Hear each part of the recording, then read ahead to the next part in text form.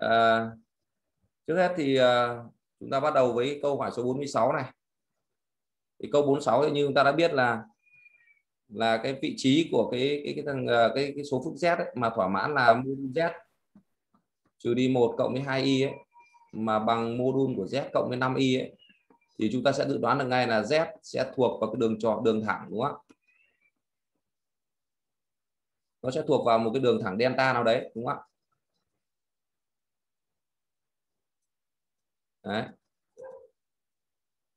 z lúc này sẽ thuộc vào một cái đường thẳng delta nào đó. Thế là chúng ta phải đi tìm cái, cái phương trình đường thẳng delta này.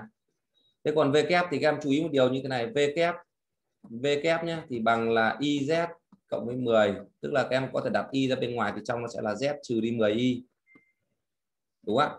Như vậy thì dẫn đến là module của v kép thì thực chất nó chính là module của y nhân với lại 10 xin lỗi z trừ 10 y và như vậy thì nó sẽ bằng là mô đun của y nhân với lại mô đun của z trừ đi 10 y nhưng mà mô đun của y thì bằng một, nên là dẫn đến là mô đun của v kép. Thì nó chính là mô đun của z trừ đi 10 y thôi. Thế thì chúng ta biết một điều là nếu như z nằm trên đường thẳng delta đây, đúng không ạ? Thì mô đun của z trừ 10 y là gì? Là khoảng cách từ điểm m biểu diễn số phức z mà đến cái điểm a, biểu diễn cái số phức là 10 y. Đúng không ạ? Vậy thì các em hình dung một điều là như vậy điểm a lúc này có cái, sẽ có cái tọa độ là 010 vậy muốn mô đun của v kép mà min ấy, thì mô đun v kép min. Điều này xảy ra khi khi là m phải là hình chiếu của a của a lên cái đường thẳng delta. Đúng không ạ? Lên đường thẳng delta vậy thì việc đầu tiên bây giờ chúng ta làm ấy là chúng ta phải xác định được cái ờ,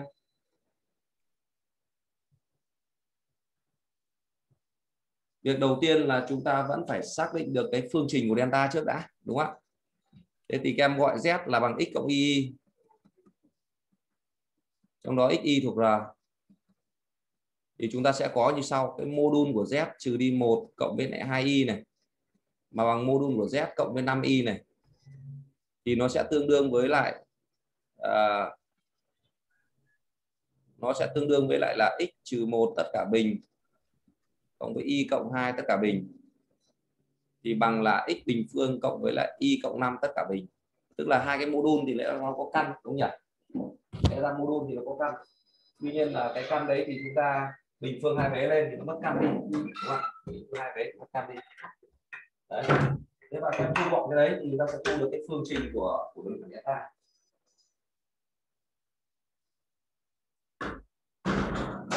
đấy ta sẽ thu được phương trình của delta như sau.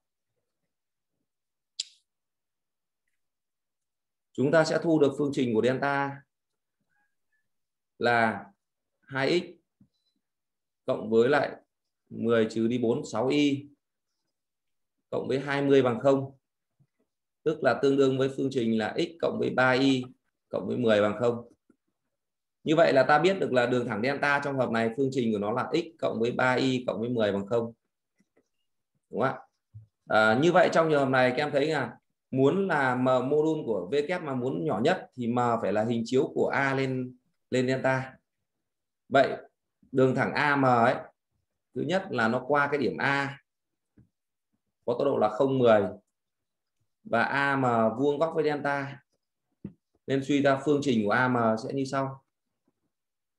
À, vector pháp tuyến của đường thẳng delta là 1 3 thì vector pháp tuyến của am sẽ là 3 âm 1 như vậy ta có 3x trừ đi y đồng thời nó đi qua cái điểm a độ 0 10 nữa thì cộng với 10 cái này bằng 0 từ đó thì chúng ta tìm được m là giao điểm của delta với am và các em sẽ suy tọa độ điểm m cho thầy để các em giải cái hệ phương trình gồm phương trình của đường thẳng delta và phương trình của đường thẳng am đúng không?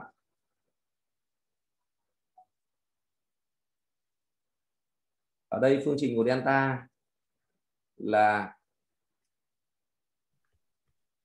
chúng ta giải hệ phương trình gồm phương trình delta với phương trình của am thầy nhá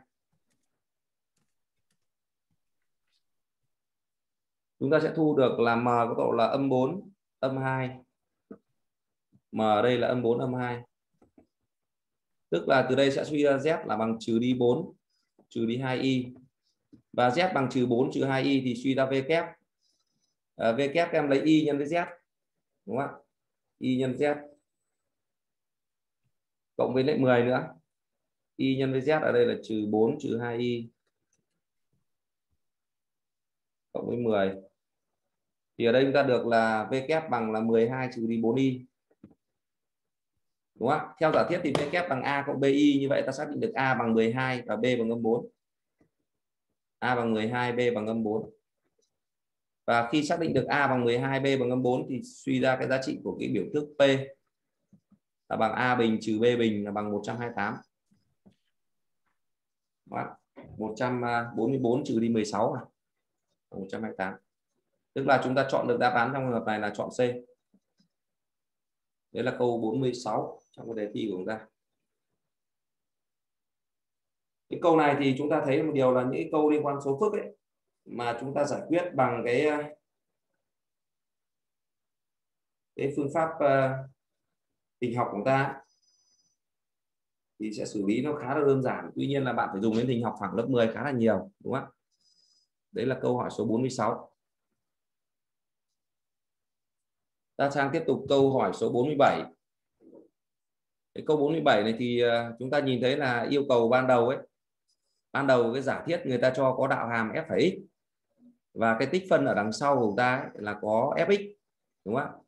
Như vậy nhiều khả năng là chúng ta sẽ sử dụng phương pháp là là phương pháp từng phần ở đây đúng không ạ?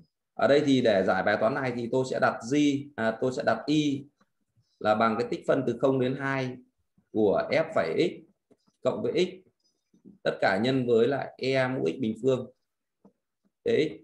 Và cái này bằng 3 à, tôi sẽ đặt g bằng cái tích phân cần tìm tức là tích phân từ 0 đến 2 của x nhân với fx nhân với e mũ x bình phương.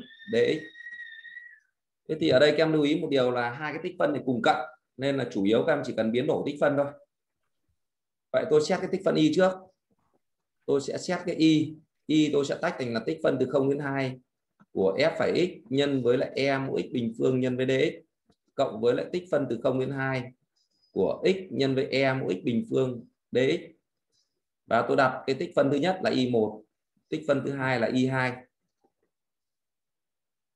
thế bây giờ từ cái tích phân y1 này này, nếu mà tôi sử dụng phương pháp từng phần đấy thì nó sẽ xuất hiện fx. Do đó, để tính y1 thì tôi làm bằng phương pháp là đặt u của chúng ta bằng e mũ x bình phương. Và dv nó sẽ bằng là f phẩy x nhân với dx từ đó các em tính được là du nó sẽ bằng là 2x nhân với e mũ x bình phương nhân dx tức là bằng u phẩy à, à, e mũ x bình phương thì áp dụng em u thôi. Bằng u phẩy nhân em u nhân với dx thôi. Thế còn v thì chúng ta chọn là bằng fx, đúng không ạ? Như vậy y1 lúc này sẽ bằng được tính bằng.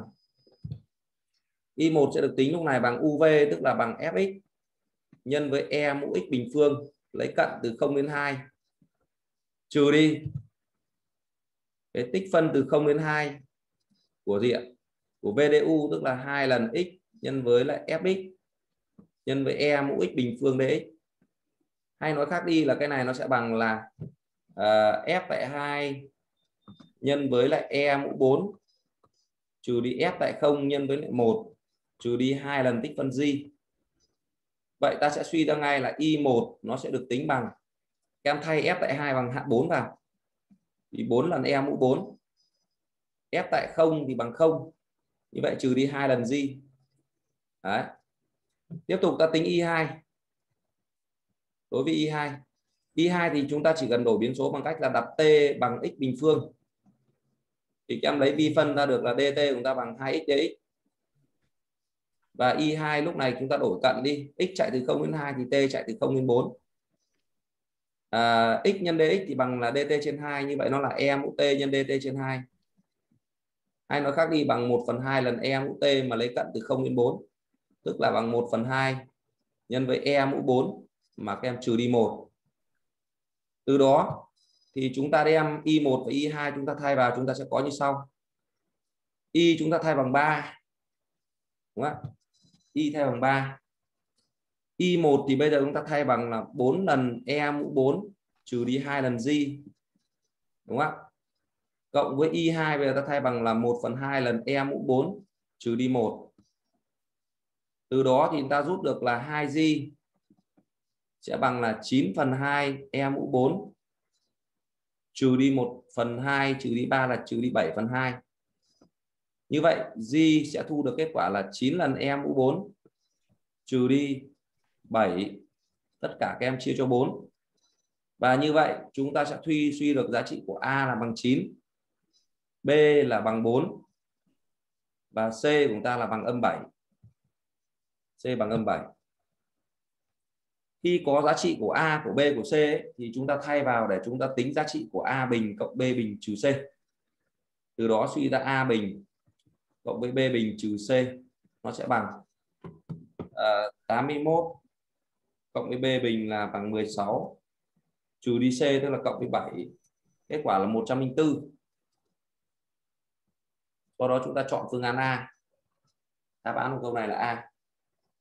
Thì cách thức làm của ta là như vậy. Tức là chúng ta có thói quen chung đó là nếu mà giả thiết mà có uh, có có f phải x đúng không ạ? Mà yêu cầu bài toán là có liên quan đến fx thì chúng ta sẽ sử dụng phương pháp từng phần.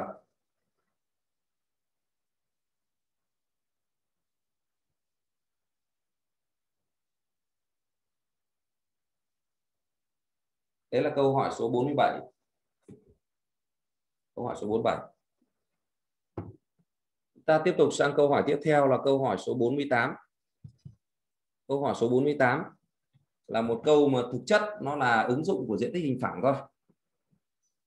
Thế thì à, để tính được diện tích hình phẳng trong những cái trường hợp như thế này ấy, thì các em lưu ý là muốn tính diện tích hình phẳng thì ta phải xác định được cái hình phẳng ta giới hạn bởi những cái đường nào đúng không ạ từ việc mà diện tích hình phẳng hình phẳng ta giới hạn bởi những đường nào thì từ đó ta sẽ tính được cái cái ờ, giá trị.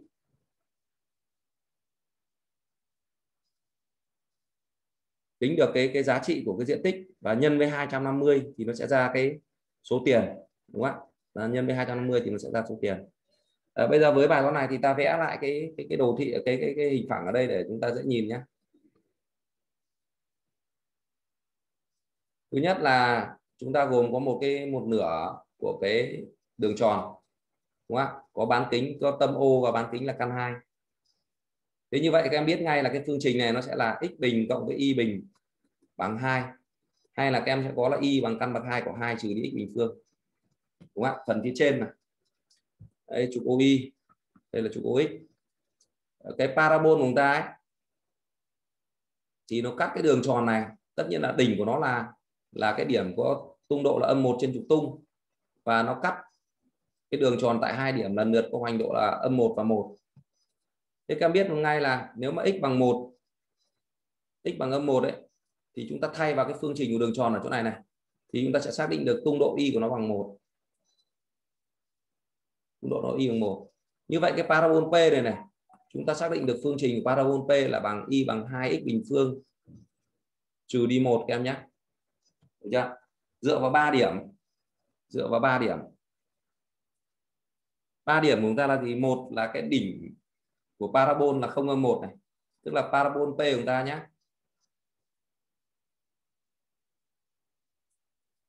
Cái parabol p của chúng ta thì nó sẽ đi qua các điểm sau. Thứ nhất là điểm a tốc độ không âm một. Điểm b có tốc độ là âm một một. Và điểm c có tốc độ là một một thì dựa vào cái này các em sẽ suy ra phương trình của parabol p. Được chưa? Các em gọi cái phương trình của parabol p là y bằng ax bình phương cộng với bx cộng c. Và các em khai thác đi qua ba cái điểm này thì đưa được một cái hệ phương trình gồm có ba ẩn abc à, như vậy là cái diện tích hình phẳng f lúc này sẽ được tính bằng là tích phân từ âm 1 đến 1 của trị tuyệt đối của f trừ g nhưng mà trong hợp này ta lấy hàm trên trừ hàm dưới. Cái đường tròn nó nằm trên parabol như vậy nó là căn bậc hai của 2 trừ đi x bình phương. Mà trừ đi hàm dưới là trừ đi 2x bình phương cộng 1 nhân với dx. Và như vậy chi phí chi phí của chúng ta sẽ là bằng là gì ạ? C nó sẽ bằng là F nhân với 250 nhá. Thì các em lấy cái tích phân F ở trên này này. Tức là bằng tích phân từ âm 1 đến 1 của căn bậc 2 của 2 trừ đi x bình phương trừ 2x bình phương cộng 1 dx. Đấy, sau đó các em lấy cái giá trị này các em nhân thêm 250 nữa. Nhân với 250 thế thì cái giá trị mà ta dùng dùng máy tính em tính ra. Em dùng máy tính cầm tay, em tính ra. Thì thu được kết quả là sấp xỉ 809.000 đó. Vậy thì chúng ta chọn đáp án ở đây là chọn B. Chọn B.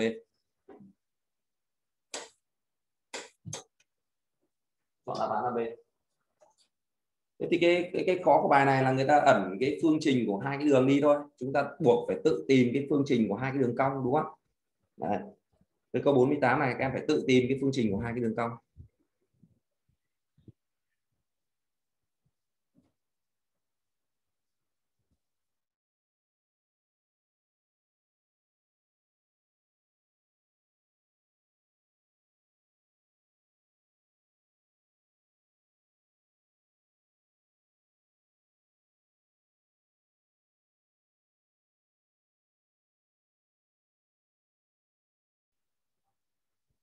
À, chúng ta tiếp tục sang cái câu tiếp theo. Câu số 49 câu số 49 ấy là một cái câu mà mà chúng ta phải sử dụng đến bất đẳng thức các em nhé. Ở đây chúng ta phải sử dụng đến bất đẳng thức. Thế thì như sau các em này. Thứ nhất là cái mặt cầu ấy ta vẽ minh họa nó bằng một cái đường tròn. Và tâm y của mặt cầu trong hợp này có tọa độ là một âm 3 4 đúng không ạ? Bán kính của mặt cầu trong hợp này là 5 đúng chưa? Các em có thể tính ra là bán kính bằng 5 bây giờ người ta cho biết là AB là cái dây cung. Mà thỏa mãn là dây cung AB của chúng ta ấy,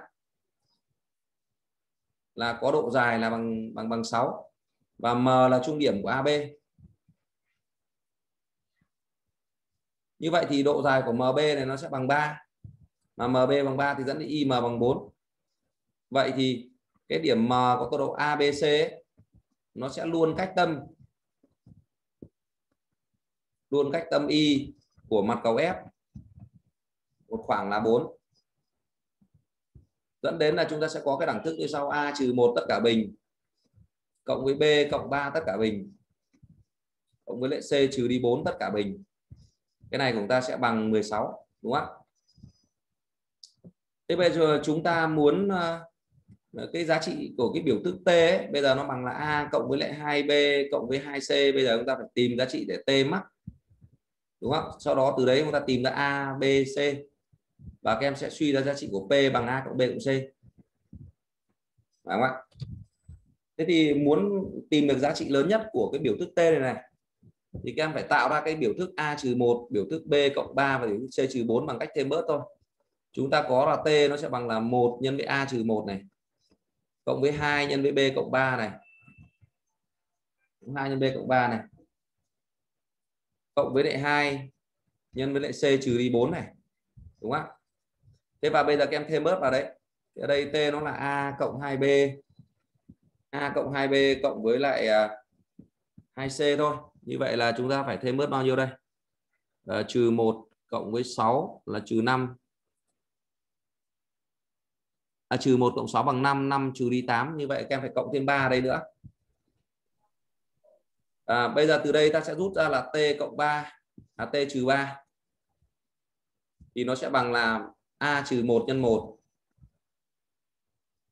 cộng với lại 2 nhân với b cộng 3 cộng với 2 nhân với c trừ 4 thế và theo bất ẩn thức Bunia thì các em lấy t trừ đi 3 tất cả bình lên nhé thì nó nhỏ bằng là một bình cộng hai bình cộng với hai bình nhân với lại a trừ một bình cộng với B cộng 3 bình cộng với lại C trừ 4 tất cả bình. Đấy. Thế thì cái đại lượng này chúng ta đã biết là là chúng ta làm ở trên là chúng ta có bằng 16 rồi. Cái này thì chúng ta thấy ngay nó bằng 9 này.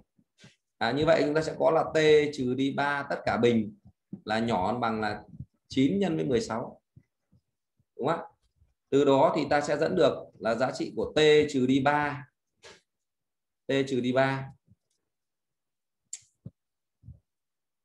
giá trị của t trừ đi 3 nó sẽ nhỏ hơn hoặc bằng là uh, 3 4 12 tức là suy ra t nhỏ hơn hoặc bằng 15 nhưng người ta lại không yêu cầu các em tìm giá trị lớn nhất của t. Mà người ta nói là khi mà t lớn nhất thì phải tìm ra giá trị của p tức là ta phải tìm ra a và b và c thôi. Như vậy cái dấu bằng xảy ra ấy, mắc t là bằng 15 cái này xảy ra khi và khi như sau này. Một là chúng ta sẽ có là a cộng 2b cộng với 2c cái này phải bằng 15 đã. Đúng không? Thứ hai là chúng ta có bất đẳng thức Bunia xảy ra dấu bằng, tức là a trừ 1 trên 1 bằng b cộng 3 trên 2 bằng c trừ 4 chia cho 2 đúng không? Ạ thế thì từ đây chúng ta sẽ giải cái hệ phương trình này, các em tìm được a, b và c. Ở c chúng ta sẽ tìm được a b và c. À, chúng ta giải hệ ra chúng ta sẽ tìm được a b và c cho thầy nhé.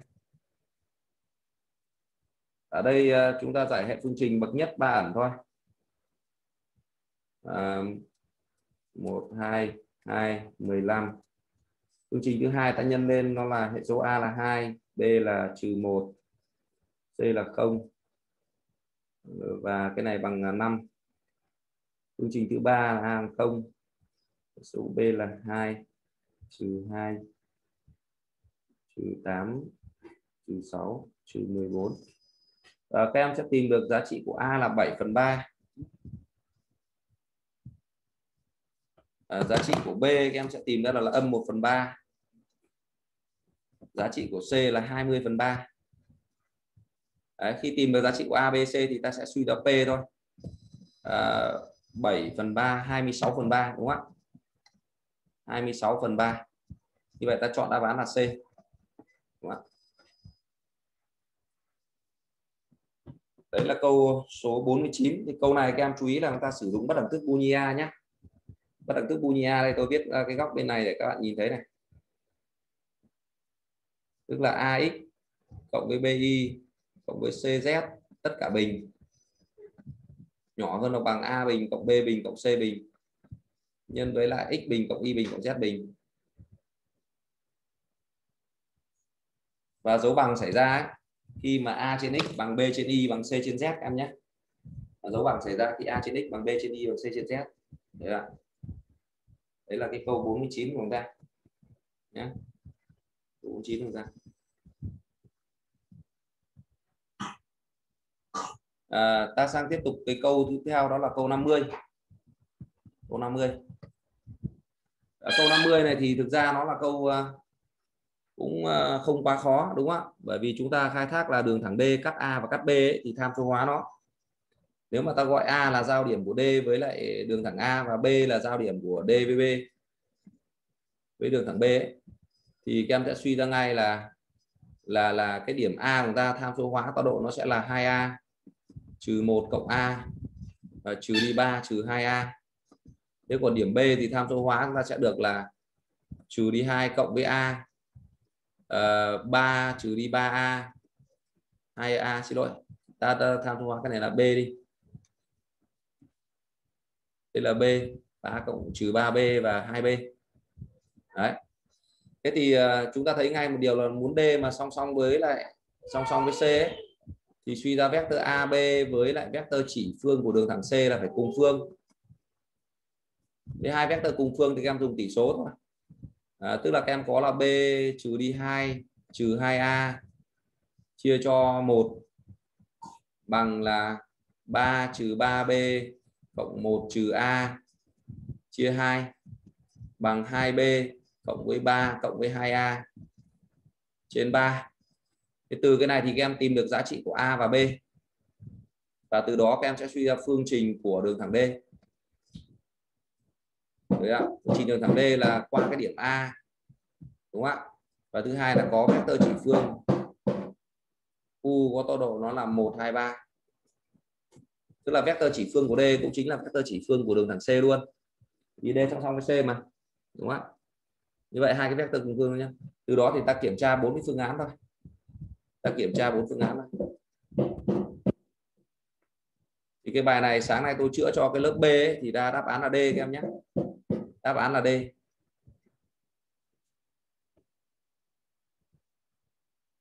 Đáp án là D. Đáp án của câu này là D.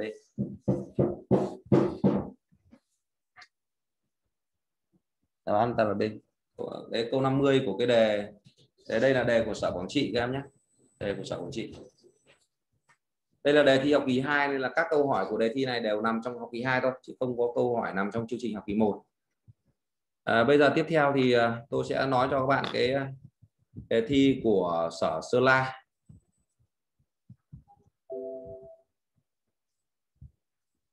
tiếp theo là chúng ta nói đến đề thi của của sở Sơn La đề này là đề thi thử tốt nghiệp trung học thông.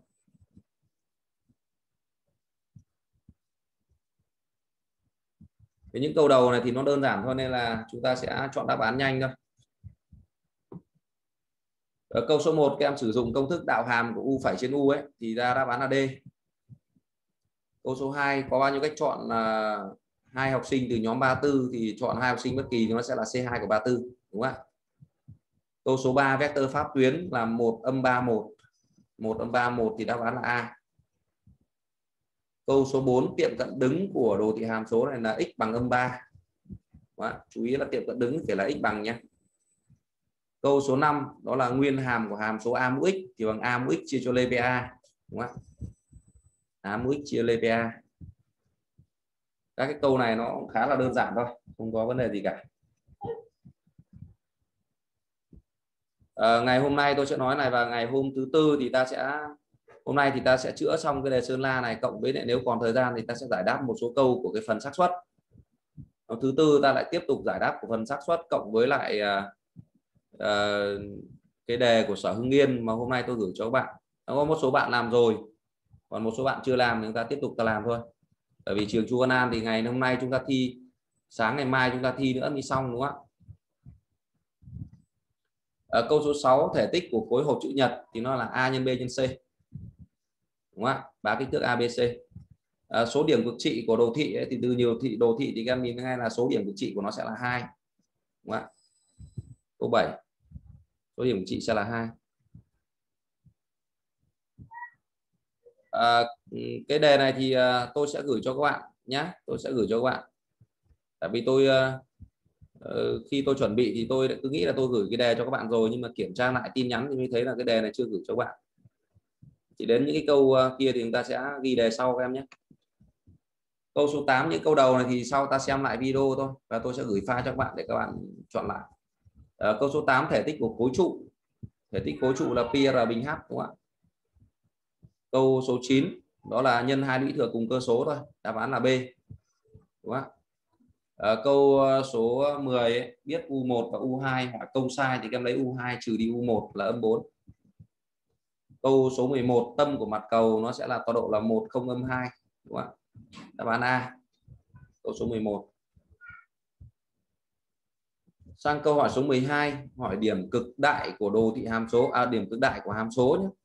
Chú ý điểm cực đại của hàm số thì ta chọn là x bằng 2 đúng nhỉ? Cái còn điểm cực đại của đồ thị hàm số sẽ là 23 đúng không ạ? Câu số 12 à, ờ, câu số 13 là nhận dạng đồ thị hàm số thôi. Thì ở đây các em nhìn cái đồ thị đi qua góc tọa độ nên là ta gạch phương án C và phương án D đi. Chỉ còn hai phương án A và B mà hệ số A là là trong hợp này là âm như vậy ta chọn đáp án B. Ờ, nhận dạng đồ thị thôi.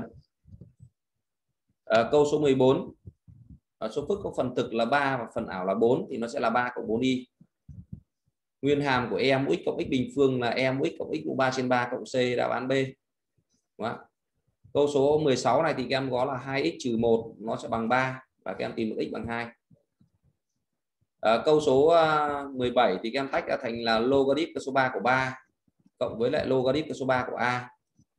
Như vậy nó bằng à, 1 cộng với logarit số 3 của a. À, câu số 18 tích phân từ 0 đến 6 bằng 7 tích phân từ 6 đến 10 bằng 3 thì tích phân từ 0 đến 10 các em đem hai cái này cộng với nhau thôi. Đúng không ạ? 7 cộng 3 đáp án là 10 à, ờ, câu số 19 thì module bằng 5 căn bậc 2 của 9 mà cộng với 16 thôi đúng không ạ? Câu số 19 tiếp theo là câu số 20 hàm số đã cho đồng biến những khoảng nào thì khoảng đồng biến nó là khoảng 13 em nhớ nhé. Đây là khoảng đồng biến này này. Được chưa? nhìn cái mũi tên đi lên nhưng mà nhìn ngược lên dòng x xem x nó thuộc ở đâu. À, câu số ờ, câu số 21 này thì à, chúng ta sẽ sử dụng phương pháp từng phần đúng không ạ?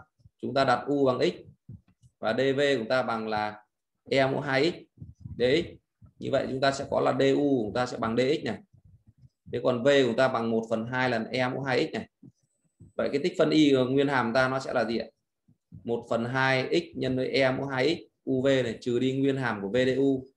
1 phần 2 lần e mũ 2x dx. Như vậy ta được kết quả là 1 phần 4 x nhân e mũ 2x mà các em trừ đi 1 phần 4 e mũ 2x và cộng với c. Đúng không ạ? Từ đó thì ta xác định được a bằng 1 phần 4 b chúng ta xác định được bằng âm 1 phần 4 như vậy, tích a nhân b bằng âm 1 phần 16 Ủa? à xin lỗi, cái chỗ này là 1 phần 2 các em ạ. Như vậy là a bằng 1 phần 2 a bằng 1 phần 2 thì tích hai phần tử nó bằng âm 1 phần 8 đáp án D. Đúng không? câu 21 thì từ một quả cầu chứa 7 quả cầu màu đỏ và 5 quả cầu màu xanh. Lấy ngẫu nhiên 3 quả. Như vậy là cái mẫu số nó sẽ là C3 của 12 Ờ, xác suất để chọn được ba quả cầu màu xanh có ba quả cầu màu xanh trong năm quả cầu màu xanh thì số cách lấy nó sẽ là C3 của 5 chúng ta sử dụng máy tính cầm tay thôi. Đó 5 C3 chia cho 12 C3 đáp án ta là 1 phần 22 đáp án A. Đáp án A câu 22 à, ờ, tất cả những câu dễ này các em cũng không được phép chủ quan tuyệt đối không chủ quan với những câu dễ này câu số 23 ấy, thì ờ, chúng ta sử dụng cái ờ, phần thực bằng nhau và phần ảo bằng nhau thôi.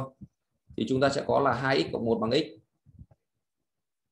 Đúng không ạ? Và chúng ta có phần ảo ở đây của chúng ta là trừ 6y sẽ bằng 6 như vậy ta được x bằng y bằng âm 1 x bằng y bằng âm 1 xin lỗi. Đáp án của ta là C. À, câu 24 thì cái chỗ này là tam thức bậc 2 có nghiệm kép em nhé. X bình trừ 6 cộng 9 là có nghiệm kép là 3 như vậy dấu của tam thức là dương trên các quả vậy tập xác định là D bằng R trừ 3 đúng không? À, câu này của chúng ta thì chúng ta chú ý câu 25 ấy. Thì một là chúng ta nhìn thấy điều kiện là x lớn hơn 3 và chúng ta sẽ có phương trình là x bình phương trừ đi 3x cái này sẽ bằng 4 như vậy chúng ta chỉ có một nghiệm duy nhất là x bằng 4 thôi. Cái phương trình dưới này có nghiệm là 4 và âm 1 mà. Như vậy có một nghiệm. À, câu số 26 hàm nào đồng biến r thì hàm này chúng ta là nghịch biến r do hệ số a nhỏ hơn 1 nhớ là a mũ x mà. Hàm này chúng ta chỉ đồng biến trên khoảng từ không dương cùng thôi hàm b ấy. hàm ở IC chúng ta là hàm nghịch biến trên khoảng từ không dương cùng như vậy đáp án ta là D. Hàm 3 mũ x. À, câu 27 đường kính mặt cầu ngoại tiếp hình lập phương thì bằng đường chéo bằng đường chéo thế bây giờ cạnh của hình lập phương bằng a căn 3 thì đường chéo nó sẽ bằng 3a các em nhé. Được chưa? Tức là AC phẩy, các em nhớ là bằng là AB nhân với căn 3 mà. Như vậy cạnh bằng A căn 3 thì đường chéo nó sẽ bằng 3A và đường chéo thì chính là đường kính của mặt cầu ngoại tiếp cái hình lập phương đó. Câu ờ, số 28 thì các em tìm z bằng cách rất đơn giản. Đó là các em biến đổi z bằng 1 trừ 13y mà tất cả các em chia cho 2 trừ đi y thôi thế sau đó ta lấy mô đun đúng không ạ? Chúng ta lấy 1 trừ 13y là các em chia cho 2 trừ y được bằng 3 trừ 5 y các em nhé. Như vậy mô đun nó sẽ bằng là căn 34 được chưa? căn 34 câu 28 câu tiếp theo, câu 29 số nghiệm thực của phương trình 4fx trừ đi 3 bằng 0 tức là fx bằng 3 phần 4 thôi, đúng không? Đây là đường thẳng y bằng 3 phần 4 đường thẳng y bằng 3 phần 4 thì nó cắt cái đồ thị y bằng fx tại 4 điểm. Như vậy số nghiệm nó là 4 đúng không? Số nghiệm là 4 và 29 câu số 30 câu 30 này thì các em ờ, tính tọa độ vector thì các em lấy 2a ở đây nó là bao nhiêu đấy? 2a đây nó sẽ là 2 4 6 trừ 3b ở đây nó là, sẽ là 6 âm 12 âm 3 và 5c ở đây nó sẽ là âm 5 âm 5 15 20 các em cộng vào với nhau. Thì chúng ta thu được cái hoành độ của nó trong trường hợp này, hoành độ là 3 hoành độ là 3 thì chỉ có phương án A thôi. Đúng không ạ? Tương tự như vậy các em kiểm tra tung độ và cao độ nhé Ờ, câu số 31 hình chóp mà có đáy là tam giác đều cạnh bên SA bằng A căn 3 và vuông góc đáy. Hỏi góc giữa mặt phẳng FBC và ABC hỏi là sin phi nó bằng bao nhiêu? Thì hình vẽ ta sẽ như thế này. Ở đây là SA vuông góc với đáy.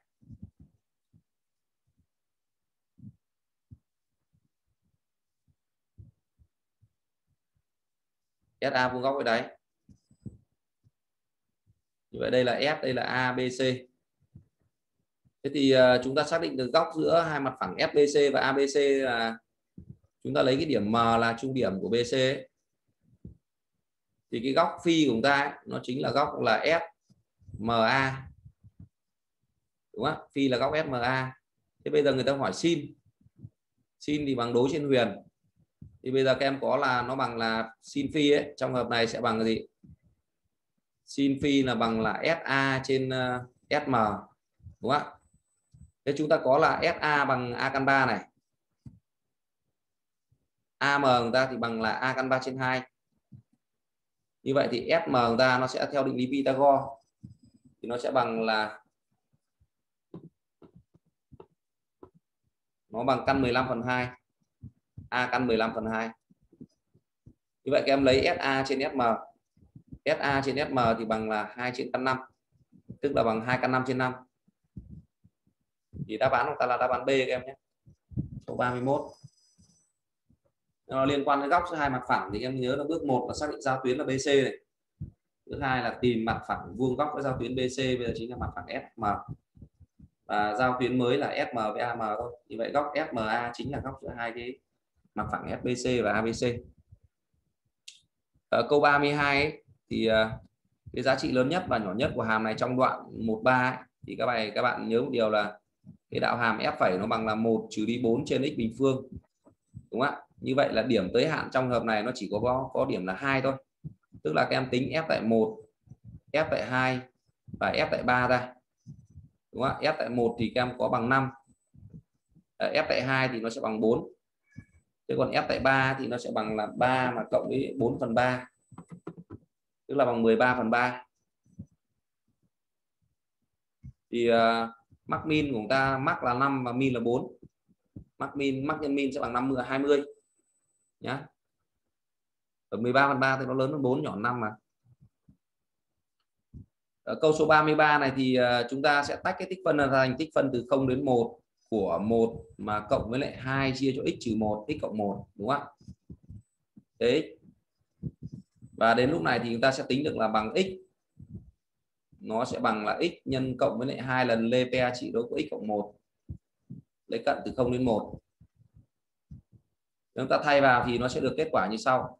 Nó bằng 1 cộng với lại hai lần lê pe 2 đúng không ạ? Thế còn cận dưới là không là bằng không hết rồi. Vậy từ đấy ta xác định được a bằng 2 và b bằng 1 như vậy cái này à, chúng ta có là a bằng 2 và b của chúng ta bằng 1 A2 B bằng 1 thì 2A cộng, A cộng 2B là bằng 4 câu 33C ở ờ, câu 34 phương trình mặt phẳng đi qua M và vuông góc D thì cái vectơ chỉ phương của D là pháp tuyến của mặt phẳng, đúng không ạ? Như vậy ta có phương trình là x trừ y cộng với lại 2z và đi qua M nữa. Đi qua M thì thay x bằng 2 z bằng 2 như vậy cái này bằng 0 thôi. Đúng không ạ? X trừ y cộng 2z bằng 0 phương án là B. Đúng không? câu 34 những câu đầu nó khá là đơn giản. Đúng không? chúng ta nháp luôn trên đề cũng được câu hỏi số 35 à, đường thẳng đi qua A và qua B ấy, thì à, đầu tiên ta em kiểm tra cái điểm mà ở đây vector chỉ phương ta lấy cái vector chỉ phương là vector AB đi. AB thì có tọa độ của nó là 6 2 4 đúng không ạ? Như vậy cái này nó bằng là hai lần cái tọa độ của vector là 3 1 2 viết thế này là không đúng đâu. Thế nhưng để ta kiểm tra thôi mà. Như vậy ta gạch phương án B này gạch phương án A này đúng không ạ? 312 thì C để lại. Cái này cũng gạch nốt như vậy đáp án của ta chỉ là phương án C thôi. Tức là dựa vào mỗi cái vector chỉ phương thôi là ta đã tìm được phương án rồi. Thế còn đấy câu hỏi số 36 thì câu này thì các em chú ý một điều là chúng ta uh, lại dùng cái phương pháp từng phần uh, như tôi đã nói thôi bởi vì là cái giả thiết nó cho liên quan đến f x mà. Như vậy là với câu 36 thì chúng ta sẽ làm bằng cách như sau. Một là các em đặt u chúng ta bằng x cộng 2 và dv chúng ta đặt bằng là f phẩy x nhân với dx vậy thì chúng ta sẽ có là du sẽ bằng dx này. Đúng không thế còn v của chúng ta lúc này trong hợp này v sẽ bằng là là là fx. Như vậy thì y nó sẽ bằng là uv, tức là fx nhân với x cộng 2 tất cả lấy cận từ 0 đến 2 trừ đi tích phân từ 0 đến 2 của VDU đúng không ạ? Nó là fx dx thì cái này chính là cái chúng ta cần tìm, đúng không ạ? Theo giả thiết cái này bằng 8 này còn cái này các em tính là bằng 4 lần f tại 2 mà trừ đi hai lần f tại không thôi. Trừ đi cái tích phân y chúng ta cần tìm. Thế 4 lần f tại 2 trừ đi hai lần f tại không thì theo giả thiết người ta cho cái này bằng 5 rồi. Như vậy ta sẽ suy ra y bằng âm 3 y bằng âm 3 thì ta chọn đáp án là B thôi. Đó, bắt đầu từ câu 36 trở đi là ta bắt đầu phải phải đặt bút mà tính toán nhiều hơn rồi chứ nó không đơn giản nữa.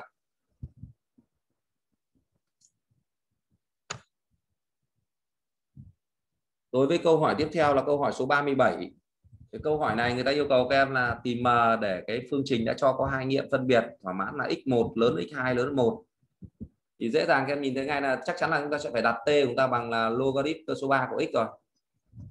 Đúng không ạ? Như vậy chúng ta sẽ có phương trình là t bình trừ 4t cộng m trừ 3 bằng 0 và cái phương trình sao này này, phương trình sao phải có hai nghiệm phân biệt. Lớn hơn không? Bởi vì sao? Bởi vì các em có là x1 lớn hơn x2 lớn hơn 1 thì cái logarit cơ số 3 của x1 lớn hơn logarit cơ số 3 của x2 và nó phải lớn hơn không? Logarit cơ số 3 của 1 mà. Thế thì cái phương trình sao ấy, các em cô lập tham số chúng ta sẽ biến thành là m nó bằng là trừ t bình cộng 4t cộng 3 đúng không ạ? Bây giờ các em xét cái hàm ft bằng trừ đi t bình phương cộng 4t cộng 3 trên cái khoảng từ 0 đến dương cực. Và các em tìm điều kiện để đường thẳng y bằng m nó cắt tại hai điểm phân biệt thôi. Thì các em dùng kiến thức của lớp 10 nhé. Hoành độ của đỉnh là trừ b trên e là hai. Đúng không ạ? Chúng ta xét trên khoảng từ không dương cùng mà. Như vậy parabol ta như thế này. Đó. ở đây chúng ta là âm vô cực này t bằng 0 thì cái này bằng 3 này. À, t bằng 2 thì 4 2 là 8 cộng với 3 là 11 11 trừ đi 4 là 7 này. Là 7 à, ờ, thế như vậy thì từ đây ta sẽ suy ra cái điều kiện của m để nó cắt tại hai điểm là gì ạ? 3 này nhỏ hơn m này và nhỏ hơn 7 ở đây người ta nói là có bao nhiêu giá trị nguyên đúng không ạ? Như vậy m nguyên thì m gồm những giá trị sau. 4 5 và và 6 do đó ta chọn đáp án là C chọn C. Chọn đáp án C.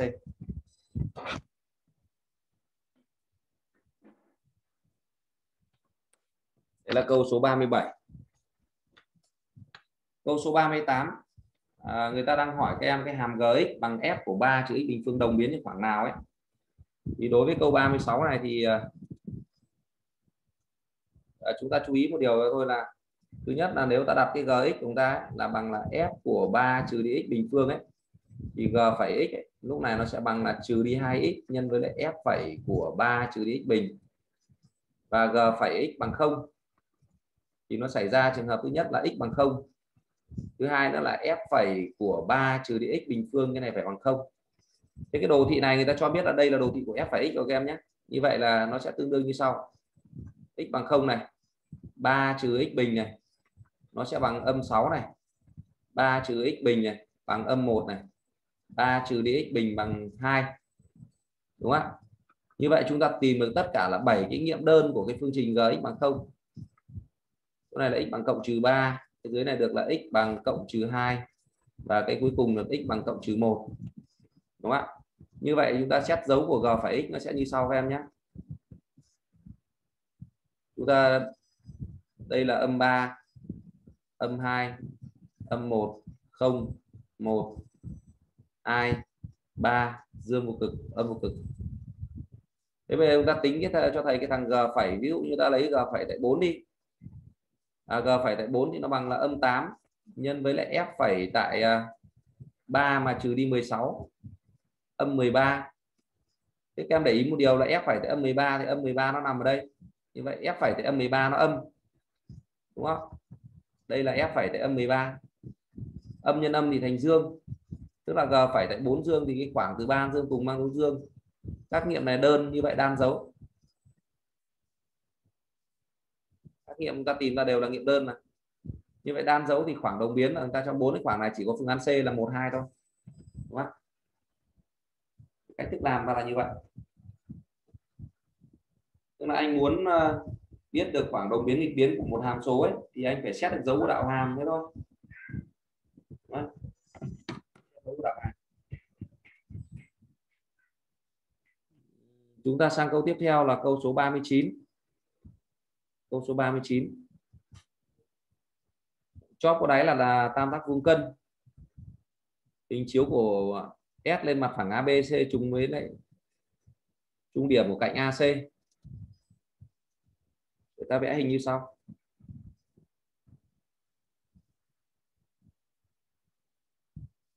Đây nó là A, đây là C, đây là B. Tam giác này là tam giác vuông cân tại A. Và hình chiếu của S lên mặt phẳng đáy trung trung điểm của, như vậy ta gọi H là trung điểm của AC thì SH sẽ vuông góc với đáy. Đúng không? SH vuông góc với đáy bây giờ góc giữa SB góc giữa SB với mặt phẳng đáy ấy, thì nó chính là cái góc nào? Nó chính là góc SBH các bạn. Và theo giả thiết thì góc này bằng 60 độ. Đúng không nhiệm vụ bây giờ của chúng ta là chúng ta phải tính cái thằng à, SH và tính diện tích đáy. Thì trước hết là diện tích đáy của chúng ta nó sẽ bằng là 1 phần 2 lần AB nhân AC tam giác vuông. Như vậy nó bằng là A bình phương trên 2 đúng không à, cái thứ hai mà chúng ta cần phải tính nữa trong hợp này, đó là gì? Dựa vào góc giữa SBH bằng 60 độ ấy, thì chúng ta sẽ tính được SH bởi vì sao? Bởi vì BH thì nó bằng là căn bậc 2 của AB bình cộng với lại AH bình. Chúng ta thay số vào nó được bằng A căn 5 trên 2 AB bằng A, còn AH thì bằng A trên 2 mà. Đấy. Như vậy từ đây suy ra được là SH mỗi cạnh góc vuông bằng cạnh góc vuông kia nhân với tan của góc SBH Thế các em thay BH bằng à, A căn 5 trên 2 và tan của 60 độ bằng căn 3 vào thì ta được bằng A căn 15 trên 2. Vậy suy ra là V của khối chóp S ABC nó bằng 1 phần 3 lần SH nhân với diện tích đáy, tức là bằng 1 phần 3 nhân với lại A căn 15 trên 2 A căn 15 trên 2 nhân với diện tích đáy là A bình phương trên 2 chúng ta sẽ thu được kết quả là A mũ 3 căn bậc 2 của 15 mà tất cả kém chia cho 12 thôi. Cái đáp án sẽ là C nhé. Như vậy đáp án là C. Số 39 là chọn C. Những câu đầu khá là nhẹ nhàng, đúng không ạ? Câu 40 là câu lấy điểm 8 đây. Câu này quen thuộc với chúng ta không điểm M là điểm thay đổi trên P. Sao cho là 3 lần MA cộng với 2 lần MB là nhỏ nhất? Thì thứ nhất là với bài này ta quen rồi giống như cái đề thi của sở thái nguyên mình thế thôi. Bước một là các em tìm cái điểm y thỏa mãn là 3 lần vector ia cộng với lại hai lần vector ib cái này bằng vector không đúng không ạ? Đấy, từ đấy ta sẽ tìm ra điểm y nhá. Bây ta tìm ra cái điểm y sẽ như sau điểm y trong trường hợp này 3 lần IA mà cộng 2 IB bằng 0 đây là A, đây là B. Như vậy các em sẽ chia cái đoạn AB này thành 5 đoạn bằng nhau. Đúng không ạ? 3 lần IA cộng với 2 lần IB như vậy Y nó nằm ở đây. Tức là điều này tương đương với vector AI bằng 2 phần 5 của vector AB đúng không ạ? Tức là bằng 2 phần 5 của vector AB thì tọa độ của nó như sau, lấy tọa độ B trừ A. 0 âm 5 0 âm 5 âm 5 như vậy cái này sẽ tọa độ của nó là 0 âm 2 âm 2 từ đó suy ra cái điểm y ấy, nó sẽ có tọa độ như sau. Tọa độ điểm y trừ điểm a thì bằng cái này. Như vậy em lấy tọa độ vector này em cộng với điểm y, điểm a nữa. Một một, hai, đúng không ạ? Khi đó thì cái giá trị của biểu thức t là bằng 3 lần ma bình nhé cộng với lại hai lần mb bình ấy thì các em chèn điểm y vào đây các em sẽ được bằng 5 lần mi bình. Cộng với lại ia bình. 3 lần ia bình cộng với hai lần ib bình. Đúng không ạ? Như vậy thì t mà min t min à, điều này xảy ra khi khi là mi là min. Lý do là là cái đại lượng này là một đại lượng không đổi rồi ia và b là các điểm xác định rồi, như vậy là cố định. Vậy cái đại lượng này không đổi. Vậy thì muốn t min thì mi min. Mà mi min thì khi khi mi chúng ta nó sẽ bằng cái gì? Bằng khoảng cách từ điểm y đến mặt phẳng p thôi. Tức là nói khác đi là là m phải là hình chiếu của y đến p, đúng không ạ? Mặt phẳng p đây. Cái điểm y của chúng ta là điểm cố định. M nó chạy trên p thì y m nhỏ nhất khi m là hình chiếu của y đến p. Vậy cái này bằng khoảng cách. Thì khoảng cách này các em tính là nó bằng à, trị tuyệt đối của 1 trừ 1 cộng với 2 nhân 2 cộng với 8 mà chia cho độ dài của vector pháp tuyến. Căn bậc 2 cộng 1 cộng 1 cộng 4 đúng không ạ? Người ta tính được là 8 4 12 12 là bằng 2 căn 6 đấy. Tương tự như từ đây ta sẽ suy ra ngay là min của t. Ở đây người ta hỏi min t mà. Nó sẽ bằng là 5 nhân với lại 2 căn 6 tất cả bình này. Cộng với lại 3 lần ia bình. 3 lần ia bình. Thì nó sẽ là không này cộng với 4 này cộng với 4 tiếp này. Đấy là ia bình này cộng với hai lần ib bình. Ib bình thì nó sẽ là không này cộng với 9 này. À, cộng với 9 cộng với 9 nữa. Để các em dùng máy tính em tính cái này ra. Thì nó sẽ là 5 nhân 24 cộng 3 nhân với 8 cộng 2 nhân 18 bằng 180 các em nhé. 180 thì ta chọn đáp án là D thôi. Được chưa? Thì cái bài này nó khá là quen thuộc và nhiều đề thi mà chúng ta gặp cái cái bài toán kiểu như thế này rồi. À, bây giờ chúng ta sẽ nghỉ để lao 10 phút sau đó đến 6 giờ 5 thì các em vào lại phòng nhé. 6 giờ 5 thì ta sẽ quay trở lại phòng.